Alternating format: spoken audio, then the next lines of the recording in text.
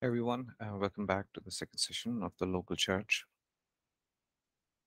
Right, I hope you all had a good break. Right. Um, so let's let's uh, resume from where we left off, uh, from the bottom of page 60. Uh, but just to do a quick review of the previous point, we just concluded uh, the last session by talking uh, about the three important family practices in a local church. Three important family practices in a local church. One is uh, we are encouraged to walk in brotherly love, to care for one another, uh, to be kind to one another, uh, to put others uh, before ourselves, etc. The other one is to we are encouraged to uh, maintain the unity uh, and the fellowship of the Spirit within us in the church, to be proactive and to to create a, a kingdom culture and and to cut out the gossip and the grumbling and the murmuring about one another, uh, which can seem very uh, easy.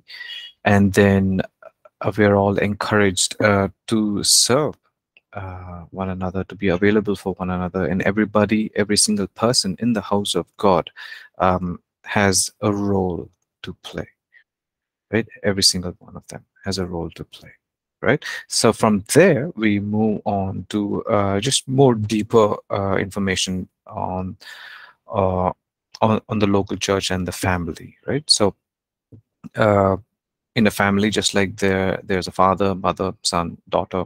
Uh, in the local church, there are fathers, mothers, sons, daughters, etc. Right? Uh, we don't have a very clear the information about the demographic, uh, you know, in detail about uh, people in the local church. But however, you you know, in when you read uh, John's um, epistles, uh, we you see that he is addressing uh, three sets of people uh, in specific, and they're all mentioned at the bottom of page 60 in your notes. It, um, he's addressing little children um, many many times, and then you see young men uh, and then fathers as well in 1 John chapter 2 verse 13 and 14 uh, so he's addressing these uh, three sets of people. That means there are you know there's there is a, a certain demographic uh, in in the church in a local church right? So we have just like uh, any other family we have people with different uh, in different age groups in different ages and stages uh, in their life at different maturity level and they're they're on a different level uh, in their walk with the lord and whatnot similarly in the local church, we also have people at different stages and ages of spiritual growth and maturity, right? That's why we have children's church, uh, kids church, or whatever you want to call it, uh, youth ministry, young, uh, you know, young adults, women's ministry, men's ministry, etc., mm, etc. right? Um, and one of the things that we can keep in mind uh, is that uh, in the natural, right, uh, in the natural family, uh, we tend to be a little bit more lenient with children with kids isn't it uh, we tend to be more easygoing on them if they make a mistake or in their failures or shortcomings and whatnot we are more tolerant to little children right we tend to overlook their mistakes and whatnot so uh, and as they grow, the ex your expectations uh, change. The way you expect them to uh, conduct themselves uh, change, right? The way you expect them to behave themselves uh, also changes, isn't it? So, uh, and it's the same thing, you know, in in the spiritual house. Uh, in Galatians four one and two, let's read that very quickly. It says, "Now I say that the heir, as long as he is a child." uh, does not differ at all from a slave, uh, though he is a master of all, but is under guardians and stewards until the time appointed by the father. Right, so until he comes, he or she comes to that age of uh, maturity and, and understanding, uh, they are to be under the mentorship, under the leadership, under the stewardship um, of the elders and the leaders and you know uh, apostles uh, of the church right? Um, so that's that's one of the things it's talking is addressing about once again about the maturity uh, of people and and those who are still growing in faith uh, you know uh, are encouraged to be under under the leadership under the stewardship of the elders and the leaders of the church. Um, right? And then we also see uh, the next section about a son mentality versus a servant mentality. Right? So in a family, like like we discussed, there's a father, mother, son, daughter, uh, etc. Right? So in the local church, uh, we are we are called sons and daughters of the living God, but then we can serve Him with two different mentalities. We can do all the work that we are doing uh, with the son mentality or a servant's mentality. Okay, uh, and uh, let's look at that in detail a little bit. So there is a big difference in how people relate to the local church, the house of God, depending on how they perceive themselves. Okay, can I read that section again? Right, there is a big difference in how people relate to the local church, which is the house of God, depending on how they perceive themselves. Right? Um, that means how they identify themselves as. Oh, you know, depending on what their identity is. That's what it basically means, is isn't it? Like how they perceive themselves as. What is their identity? What is your identity? Are you strong uh, in your identity, knowing that you are a son and daughter of God, or are you looking at yourself as a servant? And so their identity uh, has more to do with how they relate with the local church. Um, right? And i think that's very important because sometimes we can be too hard on ourselves as leaders and you know, what can we do to make that better? And as much as you know there are a lot of things that we can do to make build that relationship and rapport and whatnot uh, it's also important to know that it's a it's a two-way traffic thing right this relationship is two ways, not just one way. It's very important to see how they uh, perceive themselves. Okay, so uh, some of them perceive themselves as uh, servants or sons. So in John chapter 8, verse 35 says, And a slave does not abide in the house forever, but a son abides forever. Right? Um, so once again, just uh, in the above paragraph uh, about the in the in your notes in page 61, it says those who see themselves as belonging to the house of God, being a part of the local church family, have what we can call a son mentality. Those who do not have such a relationship with the local church family often carry uh, carry what we can call a servant mentality. And so let's look at those uh, three points uh, very briefly as to the differences between the son's mentality versus the servant mentality. And it all comes down to this one word called identity, right? The importance of uh, your identity. How strong is your identity and what you identify yourself as. Okay, first thing, a servant does work in the house for a reward, right? Uh, while a son does work in the house because he belongs. Now, in the last session, we spoke about uh, cleaning the house together as a family, right? Uh, the first thing is we all do it because, uh, I mean, at least I did it because dad told me to do it. And if I didn't do it, I know what will happen to me. Uh, right. So actually, there's no much, I don't know if it, it was like I didn't have an option. It's, it was beyond belonging. I didn't even get there yet. but uh, you know, we did it because dad told me to do it. We did it, and uh, but sometimes we would do it uh, because I know there would be a reward also. It's like, hey, if you do this, then later, you know, when they come back from work in the evening, I'll get this. And so, uh, I don't know if it's just me, guys, okay, or if uh, anyone else has been in that place, but it, it's fun both ways. But then, yeah, I mean, there's nothing wrong with the reward, is what I'm saying. But then, um, uh, you know, and then as you grow into maturity, you know, you do it because you belong, right? Uh, and the second one is, uh, Rosalind, I'll just I'll get to your question in just a minute, okay? I've seen your question, so I just finished. Let's finish this section. Yeah? Uh, the second point says, a servant's commitment can change and can leave one house to work in another house. A son is firm in his commitment. He knows where he belongs. Right? And finally, a servant receives a reward. You see that? A servant receives a reward. for his or her work, but a son receives an inheritance because he belongs. That is deep, isn't it, guys? Right? That's uh, you know, goes so much more deeper than a reward. Uh, is the inheritance. Okay, um, so yeah, very quickly to Rosalind's question. Uh, Rosalind, your question is, Pastor, if a member who is a young man is found guilty of something, can the church pastor, after several corrections, uh, tell him finally not to come to the church? Uh, is it right or wrong? Um, uh, okay, so if a member of a church who is uh, guilty of something and after several corrections, um, tell him finally not to come to the church. It seems very, uh, I mean, without knowing what the guilt part is and going into the details of it, uh, I can't just say right or wrong. It's it's like asking me to define God and give three examples, Rosalind.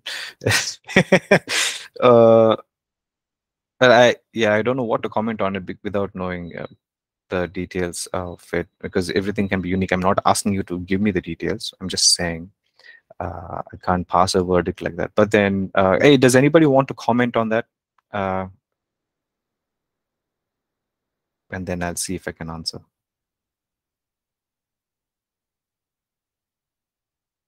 Anybody who want to comment on Rosalind's question? If a member who is a young man, okay, so a member and is a young man is found guilty of something, can the church pastor, after several corrections, I tell him finally not to come to the church? Is it right or wrong? Tough question, though. Uh, if it is affecting other congregation, uh, I think it is okay to uh, uh, deny them to come to church. If it is not, then he can still come and be just a, an attendant, uh, is what my take is. Okay. Thanks, John. Anybody else? Yeah. Go ahead, Collins.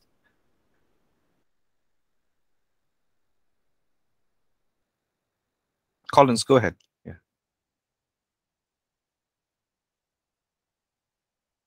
Uh, you're on mute if you're talking.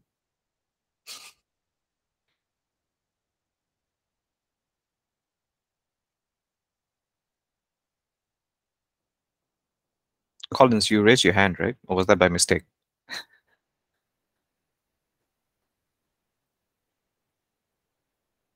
okay, uh, anybody else want to comment on Rosalind's question?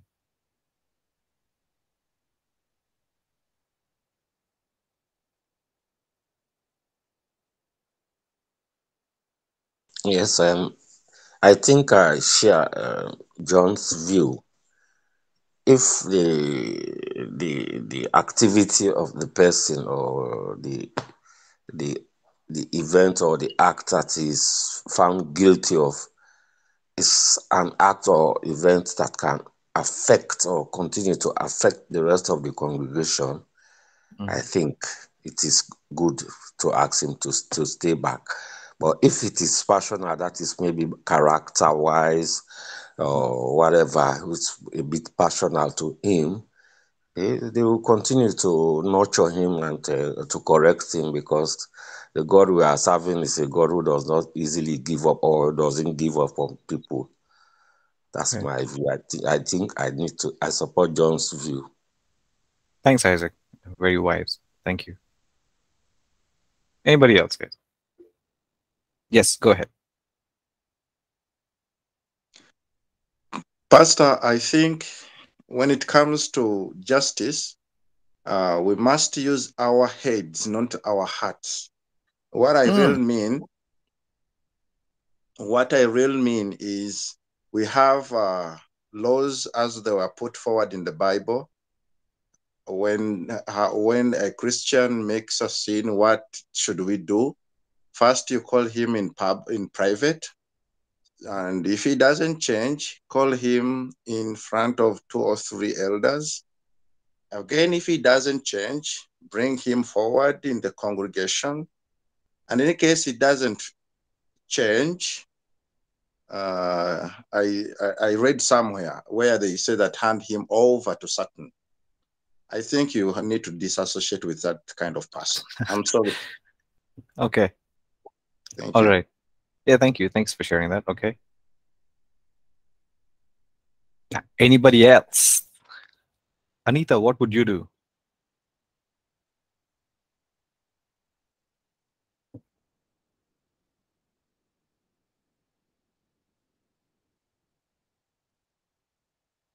Crazy, what would you do?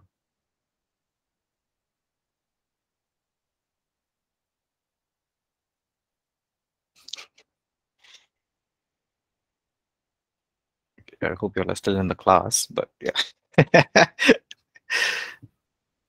Yeah, it's a tricky question, isn't it? Uh, as in, um, without knowing what the full scenario is, Rosalind. So, uh, I mean, like you, you've been very clear in terms of uh, can the church, after several corrections, um, um, so I'm assuming that uh, what this person has done has directly uh, uh, affected or has an impact on the church, um, right? So let's say if this person has been in an area of leadership or has been in or has been heading an important a volunteering uh, or leading uh, an important volunteering team or whatnot. Uh, you know, one of the first things that we would normally do is remove that person off that uh, of the leadership position. First thing, uh, you know, and then offer not just corrections, but uh, I would also say, you know, is there anything that we can do to help as well? Like, you know, offer uh, professional help, you know, if necessary. I'm saying if necessary. So, you know, keeping that in mind. So, counseling or, you know, whatnot. Um, so, if it's directly had an impact on the church, um, whatnot, I think it's the first thing is to just take them, give them a break from their leadership uh, position, uh, which is good for them and the people around them. And then, uh, you know, correct them. Uh, you give your counsel, and then, and as a leader, um, the, and as, a, as I, I think I was discussing with John or something, uh, as a pastor, there's only so much that we can, so much of counseling that we can give, and we should give. After a certain point, you have to direct them to a professional uh, help counseling, which is very important. You can't take on the full load. Uh, it's not going to be good on you the long run. And now coming to the la- latter part of your question is you kind of follow up in how they've been faring uh, in their progress and whatnot. So uh, in this, in my opinion, my humble opinion, I don't think I can uh, say to anyone, "You stop coming to church" and whatnot. I can't stop anyone from coming to church, or you know. Um, so that that that would be me. So you know, you correct, you offer correction, you offer counsel, and you offer them help as well. Uh, you know, you even give them the contacts of the you know counselors that they can get in touch with and yeah Cool. Yay, Roslyn agrees. Awesome. Hey, thanks, Roslyn. Uh, okay. Um, so yeah, coming back to uh, the son mentality versus the servant mentality, uh, you know, the importance of it is just coming down to that single word called identity. Uh, I'm just reminded of uh, a story. Okay, uh, this is a story that uh, I would normally use when we're talking about generosity, but then I think it comes in handy. So the story goes like this, right? It's about it's a story of Alexander the Great, uh, and uh, you know, and his minister. So you know, Alexander the Great was just, uh, was come was riding on his horse coming out of his palace, and his minister was also al- al- along with him. And then there was a beggar, uh, you know, on the roadside asking for alms, you know, money. Uh, and uh, Alexander responds in a ro- you know he throws him several gold coins. Alexander, yeah, he throws him several gold coins, and to which uh, the minister, uh, you know, reacted by saying, uh, "Your Highness, uh, Your Majesty, you know, he's just a beggar. You know, why throw gold coins at him? Uh, normal copper coins would suffice." And the story goes, it, it says. Uh, I love it. It says Alexander responded in a royal manner. He says, uh, "Copper coins would uh, would suffice uh, the beggar's needs, but gold coins uh, you know shows who i am. Uh, you know and so that means alexander the great was generous because he knew his identity and who he was. And that's why the story says he responded in a royal manner. Um, and so knowing that our identity as sons and daughters of a living god uh, it just it has a huge impact on how we do life with one another right? How we respond to one another. And to every situation you would end up responding in a royal manner when you know that you are the sons and daughters of of living of our living god right?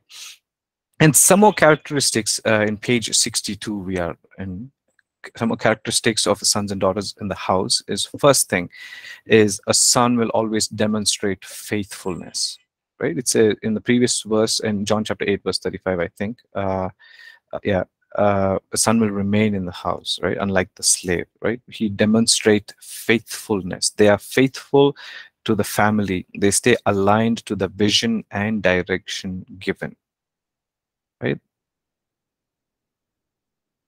in, in, in everything that they do. Uh, they serve as sons and daughters. They are like-minded. Uh, like-minded means uh, what? What does it mean? Uh, they serve without obligation.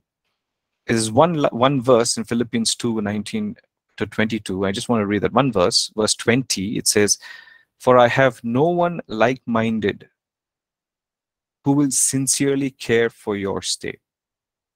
Now that we've read that, let's read the previous verse and, and the verses after for us to understand the context. It says, But I trust in the Lord Jesus to send Timothy to you shortly, that I also may be encouraged when I know your state. For I have no one like minded who will sincerely care for your state. That means Paul is saying that, hey, Timothy and I are like minded. We are in you, we are in harmony, we are united in spirit. We are one. Right? He also saying he is faithful just as I have been faithful, he is faithful. And then goes on to say in verse 21 For all seek their own, not the things which are of Christ Jesus. But you know his proven character, that as a son with his father, he served with me in the gospel. Wow, it's just a beautiful testament, isn't it, uh, of someone saying something beautiful as this about another person. Right? So like-minded means similar spirit. Uh, uh, so timothy worked alongside paul at philippi to raise a church there and he served faithfully with paul so much so that paul could refer to him as being like-minded. All right? There's this um, verse in which Luke chapter 16, verse 12. I think Luke chapter 16, verse 12. Can someone very quickly read that, please?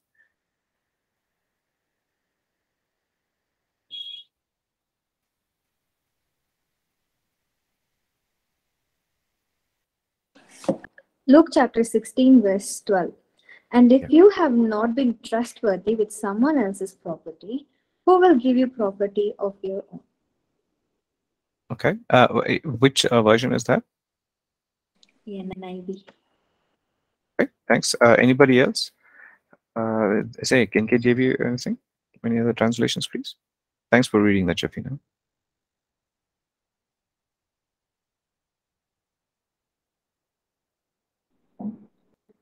And if you have not been faithful in what is another's man, who will give you what is your own? Thank you, Anita. Yeah. So if you have not been faithful in another man's work, with another man's uh, ministry or whatnot, who will give to you your own? Right. And so uh, coming back to this point, uh, we see that because Timothy was faithful with Paul's ministry, now we see that God is he's he's being trusted with his own ministry of leading a church right? So being faithful uh, is uh, one of the huge characteristics of of a son and a daughter right? Um, and it goes a long way. Uh, we can talk about being faithful you know it's, it's a whole different topic for another day but let's not talk about it now. Uh, in page uh, 63 says just as every good father would lovingly correct his children uh, sons and daughters understand and receive correction as part of a nurturing process a son or daughter of the house will be able to receive correction from the house without being offended okay uh, goes a long way. A son or a daughter of the house will be able to receive correction from the house without being offended. Uh, you know, and that goes a long way. And if you uh, if if you haven't read the APC publication uh, offense, I would encourage you to do that. Okay. Uh, there's another interesting book uh, by uh, Bevere. Who's what's his first name? His last name is Bevere. Okay. Uh, forget. Okay. He has a book called Offense, Bait of Satan. Bait of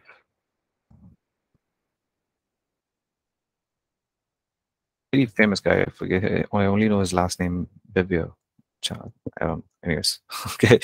Uh, being able to receive correction, uh, it, it, it very important characteristic of a and daughter, right? And that also tells that you need uh, you you will receive correction only if you are humble. You need to be uh, John Bevere. Thanks, Jeffina. Right? Yeah. You need to be humble to receive correction, right? See, guys. I mean, there are some times that you will be upset and whatnot when you know I have been upset with my dad when he's tried to say something or corrected and whatnot, but you don't dwell on it, isn't it? You, move on. Okay, fine. You receive the correction and then, and you know, you move on. So uh, scenarios like that will occur, and um, once again, will reflect your maturity, your spiritual maturity, and how fast you're able to move on from that. Receive the correction, understand that it is for your good, uh, and that characteristic is demonstrated by a son and not a servant because a servant can move on. It's like, yeah, I don't like you, you know. um, that's the other. And the, then the third part is uh, honoring fathers and mothers of the house. Uh, is another crucial thing. Uh, you know the story in Genesis 9, 18 to 27, where uh, Noah gets drunk with wine. Uh, you know, apparently Noah, uh, as as far as we know, we can tell that he's the one who, maybe from his culture, knew how to make wine. How to make wine is that right? How to brew? No how to yeah wine. So you know the story he gets drunk and uh, one of his son uh, you know um, ham sees him naked and he goes back he he is like uh, he he laughs and he tells his brothers about his estate um, and and whereas the other two sons of Noah come, like you know Shem and Japheth. You can read the whole story. Uh, they say they walk backwards, they cover him, and when Noah Noah realizes what has happened, he blesses them with the father's blessings on Shem and uh, Japheth. Uh, so genuine sons and daughters do not gossip, expose, or publicize genuine mistakes that have been made inside the house on honest mistakes must be forgiven, forgotten, and covered.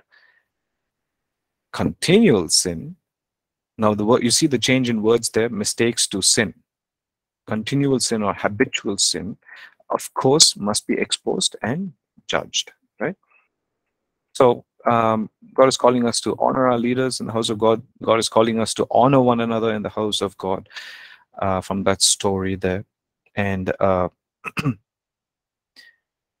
I'm coming down, coming to the bottom of uh, page 63. You see fathers and mothers in the house of God. Uh, so we're using the term um, fathering. Uh, it is in a gender independent way. Okay, it in also includes mothering, right? Uh, God is the ultimate father, and all fatherhood flows from Him. Right? So Ephesians 3, uh, 14 and 15, it says, for this reason, I bow my knees to the Father of our Lord Jesus Christ, from whom the whole family in heaven and earth is named. From whom the whole family, right? So once again, uh, he is the head, right, uh, of our family, of this spiritual house, of the spiritual family.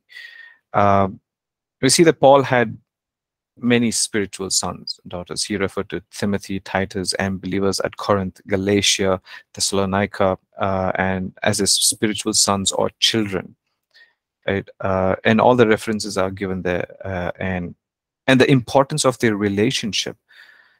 Because in the next very paragraph, when you read Malachi chapter four, verse five and six, uh, you know it says that when the heart of the fathers is not towards the children, and when the heart of the children is not toward their fathers, that means when their relationship is not, when it is not as it is supposed to be, as God intended it to be, it says it opens doors to a curse.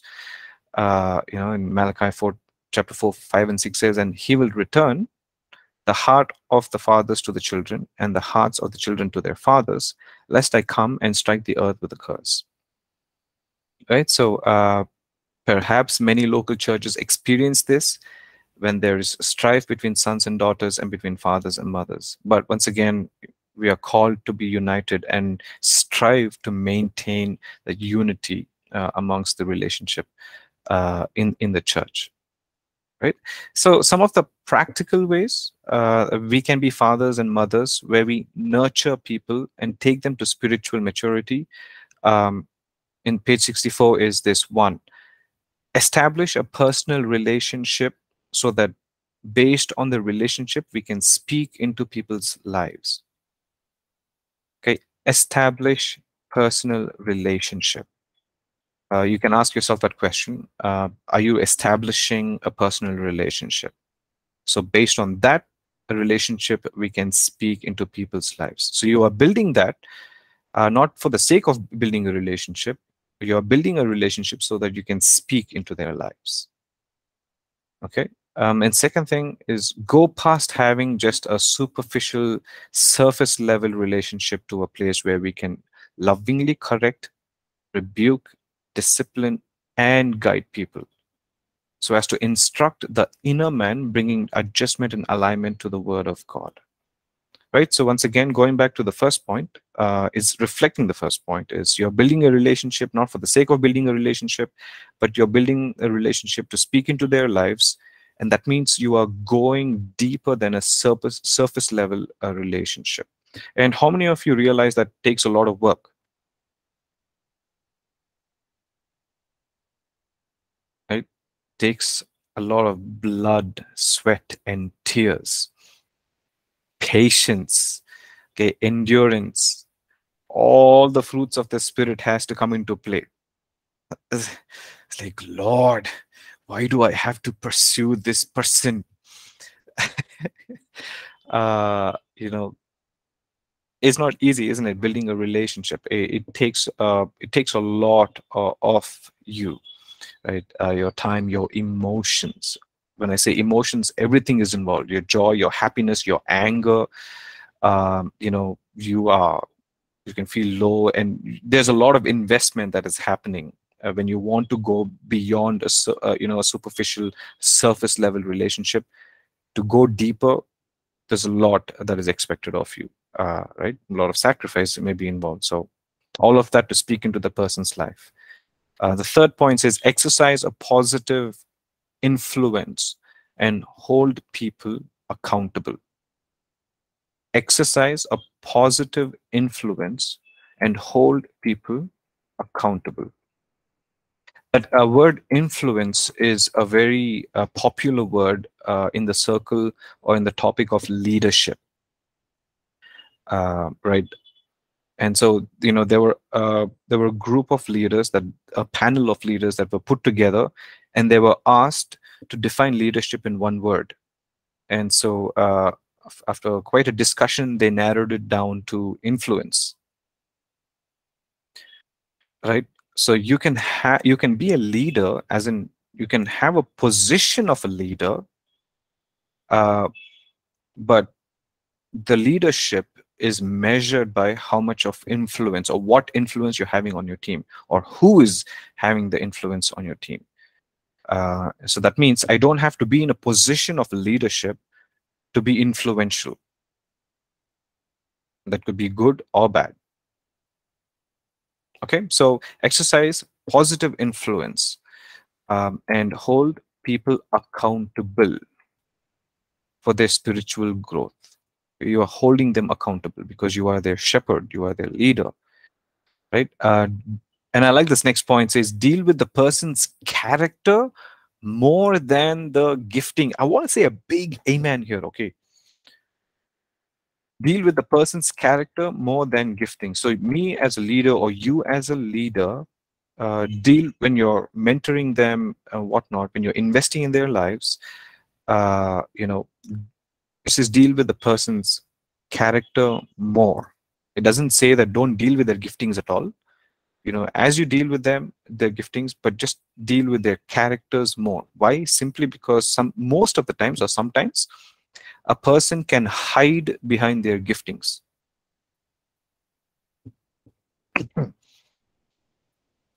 Stotram. Okay. right? Um, uh, most of the time, uh, people can hide behind their gifting. So, uh, you know, keep investing in what are kingdom characteristics. Keep instilling them and reinstilling it uh, on them. Encourage people to press in for themselves, uh, and we, you know, you should be at a point where that if you're mentoring a person, you should be absolutely okay with that person becoming a better person than you that's what you should be striving at.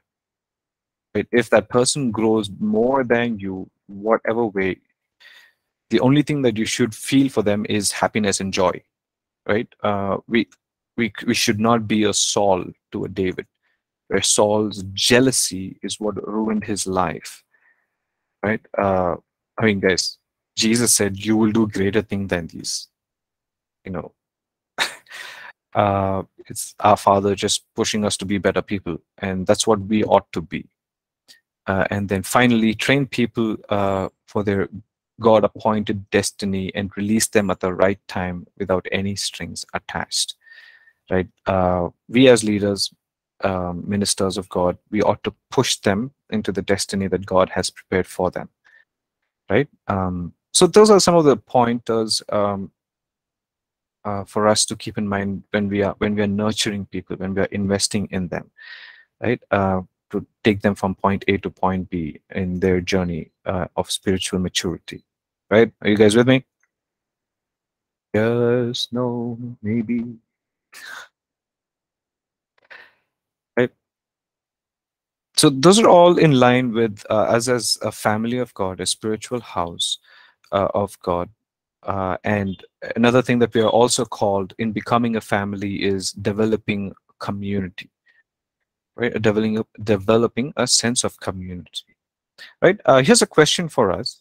Um, what's the difference between a community and a group?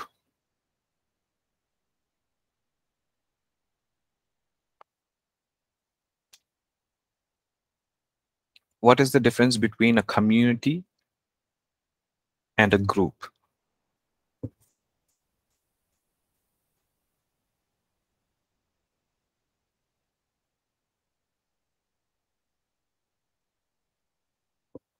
Come on, guys.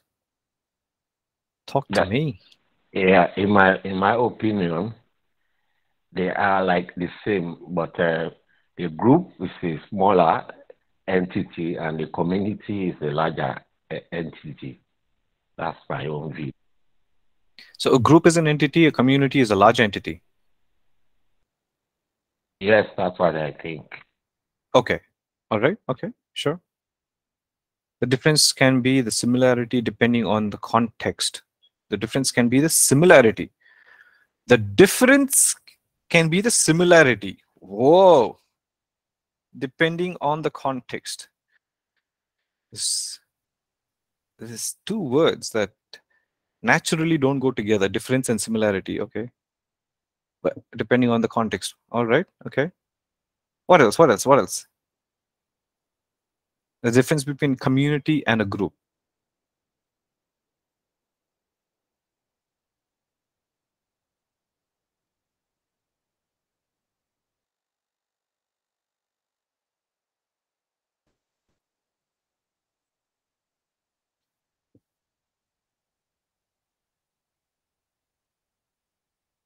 For the difference, I think uh, the group is more uh, unified or maybe more tightened than the community is at large. A community is big that is at large.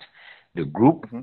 can be more unifying than the community. That's my view. Okay. Yeah. Thanks, Isaac. Once again. Yeah. Anything else, John? Anything? Um, maybe a community has unity in the group, and the group is just a group. Okay. All right. So community has unity in the group. Yeah, it's part of the word. Anita, yes, go ahead, please. Community is a, a group of people having something in common, I think. Okay. They have something in common. All right. Yeah, thanks, Anita. Rosalind says community may be same bloodline, like we belong to Jesus' bloodline. Groups are people of different bloodline. This is what uh, came to my mind. If I'm wrong, ignore. There's no right or wrong answer, guys. Okay. Just thanks. Thanks for voicing it out, Rosalind. Yeah, thanks everybody for sharing. Yeah, I think um so a group can I mean any anyone can make a group, right? Uh, it, it, it could be temporary, like oh, I don't want to say WhatsApp group because that's the first thing that came to my mind, WhatsApp group. But uh, yeah, I mean, it could be a group for a temporary thing to finish something. But a community, I think, yeah, like uh, like what Anita was sharing, they have a, a, they have a goal kind of a thing. They have an idea, like a, a vision or, or a mission.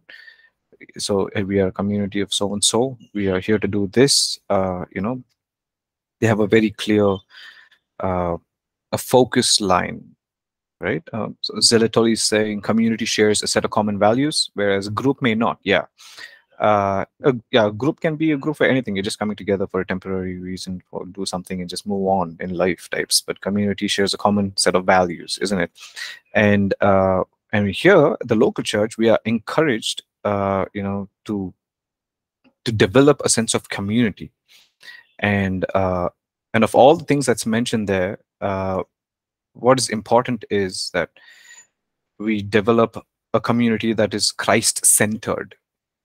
Okay, because otherwise, you know, we're building a community and it can easily be, uh, you know, it can be lost in this in the name of getting together. Right, you know, like I said, anybody can get together and do whatnot, but but is your community Christ centered? Right? Uh, and I would I encourage you to just go through those points, uh, you know, that's mentioned there, because everything that is mentioned above, uh, we see uh, it done in Acts chapter 2, verse 44 to 47, right? Uh, it says, Now all who believed were together and had all things in common. Uh, and sold their positions and goods and divided them among all as anyone had needed. So continuing daily with one accord in the temple and breaking bread from house to house, they ate their food with gladness and simplicity of heart, praising God, having favor with all the people, and the Lord added to the church daily those who were being saved. Right, as they were building a sense of community, a Christ-centered uh, centered community, God kept adding people right? And they did everything together right? Some of the things that they did is they shared their resources they met together for worship prayer and teaching. They ate food in each other's homes. They worshiped god uh, together at homes. They had favor with all people. Uh, they saw many people being added uh, you know to the church as they were building community. But what community is not is as what i mentioned is not just coming together uh, you know having a get together and you know we're having discussions about uh, i mean uh, where where god is not the uh, center of it where it's not about you know jesus anymore. It's, it's just another get together and whatnot right? So we should not meet in the name of christian fellowship to do things that are not appropriate for believers. Uh, for example as it says in ephesians chapter 5 verse 3 and 4 but fornication and all unclean uh, all uncleanness uh, covetousness let it not be named among you as it as is fitting for saints neither filthiness nor foolish talking nor coarse jesting which are not fitting, but rather giving of thanks, right? Um, most of the times, uh, you know, it is possible that we come together in the name of Christian fellowship and end up doing everything that what we just read, right? Um, so that is what not a Christian community is, and that should that is not what it should look like. And and another thing is we can become very comfortable in that Christian circle and say, okay, hey, I love this. This is what we are called to do, and we can hide behind this you know christian community kind of get together thing and forget the need to go out and reach out to people for jesus christ right? So uh in, in that you can it's not a substitute right? Okay you either you know you don't if you're doing this you don't have to do that. You have to do this. Christian community is important um and having keeping that in mind, it is also important for us to go out and you know evangelize and disciple people as well. Okay, uh, and and towards the final sections of uh, this chapter, in the beginning, we saw that you know we are the house of God, we are His household, we are His spiritual house, and then we see that He is the head of the house right? Like the head of any other house, when we know that God is the head of the house, when he sing, when he sees certain things that are not right, he does the cleaning. Okay, he does the cleaning. Uh, First Peter chapter four verse seventeen says, "For the time has come for judgment to begin at the house of God." Judgment begins at the house of God. Okay.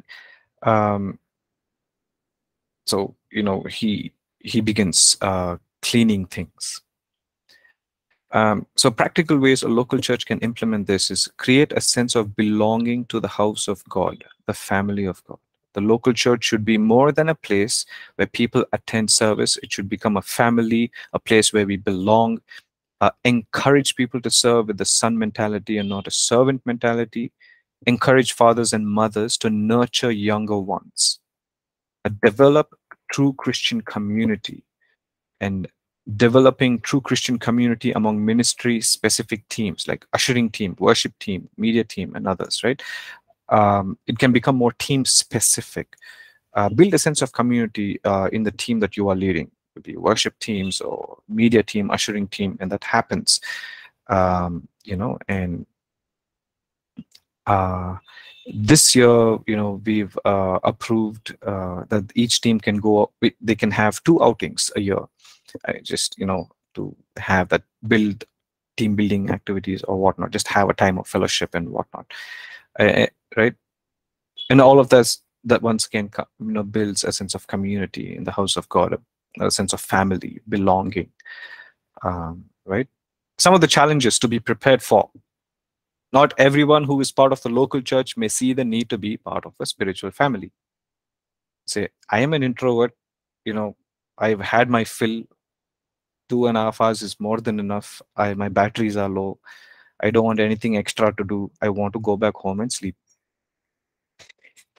It, it takes a lot of patience, teaching, and modeling right it takes a lot of patient teaching it's not just teaching it takes a lot of patient teaching and that's not just teaching but also modeling actions right to help people understand what it means to be the house of god and willing to be the family of god right in a large church with a congregation of several hundreds um, perhaps thousands of people it is easy for people to feel disconnected lost and lonely so even if small groups are available, getting people connected to some small groups is a challenge. It's a challenge that we face at APC, um, right? It is possible for people to get lost easily because, I mean, even though we have all these life groups and whatnot, and we have all the contact list of all the first-time visitors who are attending the church, uh, getting them connected uh, to one of the small groups is a challenge uh, for various reasons, right? Uh, the danger of forming cliques or elite groups this is another challenge, right? Uh, certain cultural groups with certain background will prefer to be with only their groups. Like of certain people from a certain region or a certain country would prefer hanging out with only that people. Uh, you know so these groups may enjoy community within themselves but end up isolating themselves from a larger family uh, doing more harm than good. And all of this again once comes down to uh, teaching uh, investing nurturing uh, you know instilling cultures values all of these things what we've just went through this whole chapter it can seem very basic and it you know some of the things that happens in our day-to-day lives in our families and whatnot is the same thing that applies in the house of god. Okay so um, i hope there was something that you could take off from today's lessons uh, lectures. Um, if any questions you can also email it to me. Um, I'll be more, or you can put it in the stream section. I'll be more than happy to connect with you or respond to your questions in the in the stream section of the class. Okay, you guys, uh, lovely teaching you all. You guys take care. Uh, I'll see you all once again next week. Have a lovely weekend. God bless you. Take care, guys. Bye. Thank you, Pastor. You're welcome, guys. Take care. Bye.